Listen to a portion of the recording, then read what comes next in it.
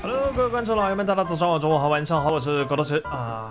我想吐槽一下卡表，他说不会出沙溢龙的，他自己说的啊，不是我说的。对，然后他就出了啊，真是任谁更表，那就肯定是表不过卡表了。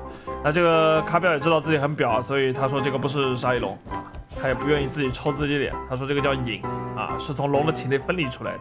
哎，就这么随随便便的一个理由，就多了一个沙溢龙。OK，那这个角色我是留了两天。呃，去没有做这个视频，是第一时间去练习一下，练完了以后呢，再来评测一下这角色的一个强弱。那我觉得这角色呢，呃，当属非常全面啊，在街霸系统当中该有的都有，有升龙，有波，当然这个波啊是个火波，它有个发动上面看起来挺快，实际上也不快啊，尤其是火波的话还是比较慢。那还有一个就是根本不能称之为波的波啊，这个这个到底是干什么用的呢？我待会儿慢慢跟你讲。那有旋风这样的伤害带入啊，他的旋风打中以后是可以接升龙的，对吧？可以在任何一个招式后面就可以带上旋风，轻攻击也可以带，轻攻击也能带，但你这个接升龙要快一点啊。其实这个角色在宣传片的时候呢很酷炫，对吧？它是有各式各样花式的连段啊，但是其实这个角色不是很吃连段，因为你会发现。在实际的对战过程当中，你根本没有什么太多的机会去打对手连段啊，打没机会打，因为你很多时候没有压起身的机会。哎，为什么这么说啊？这角色你会发现，当你打完这种小升龙的，小升龙的连段以后，对手离你的距离都是很远的，对不对？根本摸不到对手，所以所以很多时候你都连不上。呃，很多朋友为了追追求一个压起身，怎么做呢？我在这边用旋风不接升龙，你可以压起身了，所以这个时候是要做选择的。当然，我这边还有一个比较推荐的方法是什么呢？你中圈两下摸完以后，你在这个位置哎剁一个中的龙爪脚，你就会发现，我可以在这里直接投对手，也可以直接，也可以直接打康打对手，可以摸两下，对吧？可以打康，万一轻轻拳打到康，可以再接一下。那当然，这个是一个用法啊，一个用法。呃，我我觉得就是，如果说你比较喜欢去打这样一个贴脸肉搏战，而不是跟对手打肉立回战的话，就是连招尽量用这个中龙爪去收尾，那么出了个升龙，就可以做到持续压制的一个效果。那这个角色立回方面呢，呃，比起龙来讲，相对会好一些。首先，它的移动速度会比较快。那移动速度比较快的话呢，而且还有点飘啊，高高低低的啊很飘。那它的一个前重拳是非常好，可以用来打一些插合或者是封堵对手前进的。而且一旦命中第一段，你有很充裕的时间去确认第二段啊，打中了以后按下重脚，然后你就可以直接前压到他的面前了。不过这角色我觉得他的前前速度不算特别快，但还行吧，反正比龙稍微慢一点。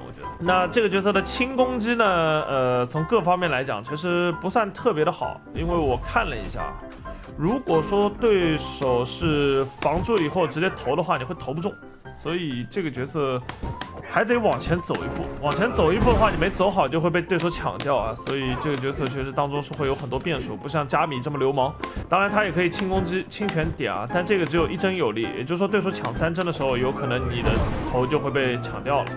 所以在发动一些近身的强则的时候呢，这个角色不是特别的好用。来说一下，就是这个角色你们很关心的一个问题啊，就是他这个连段，呃，这么难，这么花，我怎么办？哎，那我告诉你，其实这个游戏当中啊，你不用去学一些特别复杂连段，在街霸当中啊，越简单的连段越实用，伤害越高。所以我在这边呢，推荐给你推荐一下，就是一些比较简单实用的连段。首先我们来看一下，就是它的那个远距离的摸奖，对吧？这个东西打完以后，除非你开 V，否则是接不上，要么就是在板边啊，所以我就不去多讲了。那另外一种的话，它是一个主要的 C 康是分两个东西，一个站重脚打中以后呢，是可以接重拳的，对吧？那我接重拳以后，直接一个旋风啊，就可以打上一个两百六十七的连段。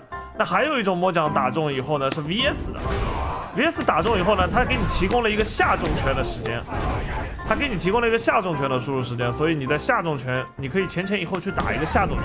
那在这个里面呢，你站重拳是接不到龙爪脚的，你看到是接不上的，只有下重拳才能接得上啊。但是下重拳的这个射程啊，可以让你感到惊愕，除非贴脸。不贴脸的话是根本不能命中的，所以你真的要用重拳打龙爪脚的这个距离啊，非常的少啊，机会也会非常的少。只有在这样子，呃，只有在一些特殊的情况下命中才可以。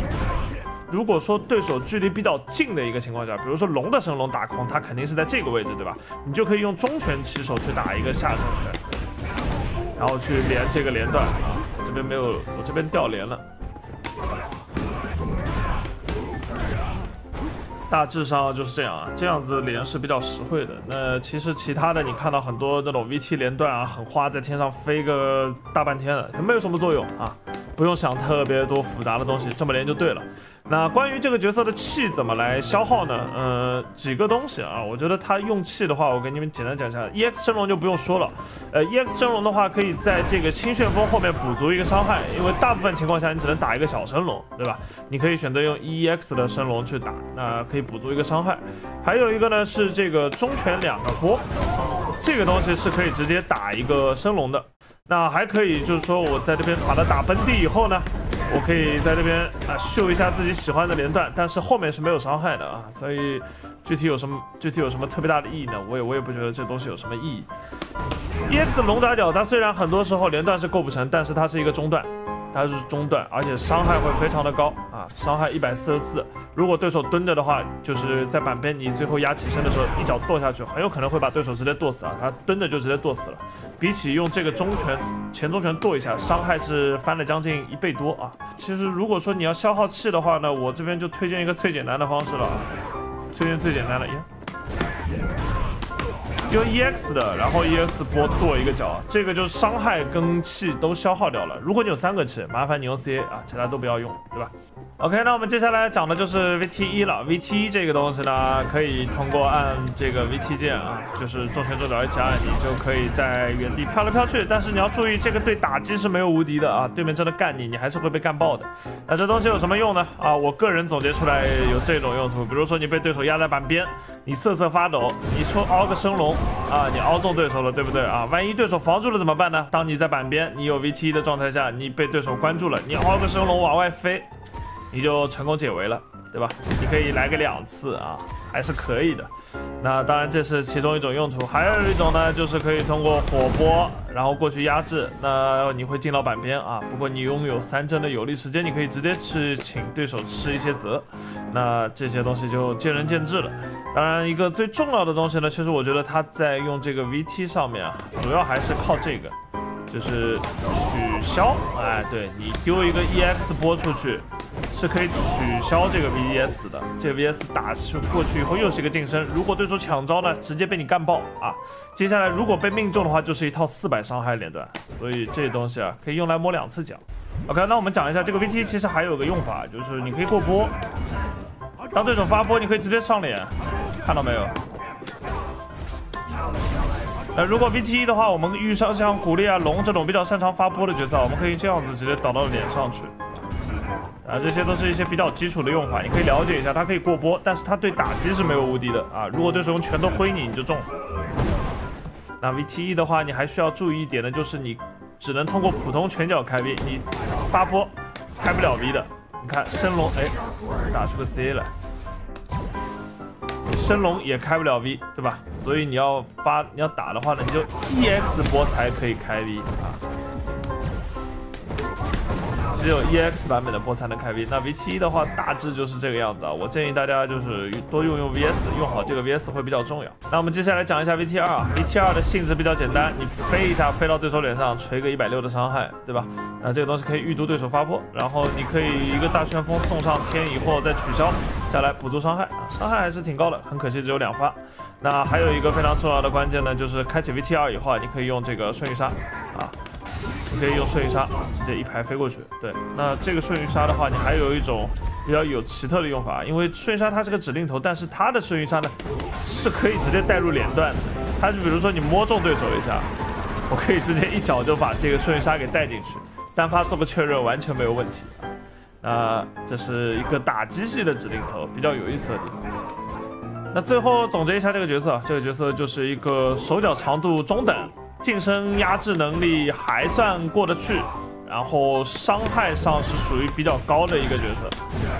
对吧？很容易就可以打出三百连段，这并不是每个角色都能具备的。那移动速度比较快，配合一些性能相对不错的拳脚，可以在立回当中帮你获得不小的优势啊。所以你要玩这个角色，其实你还是需要耐耐心心的慢慢在中距离跟对手慢慢打，把对手关进板边以后呢，然后就开始近身火波的压制啊。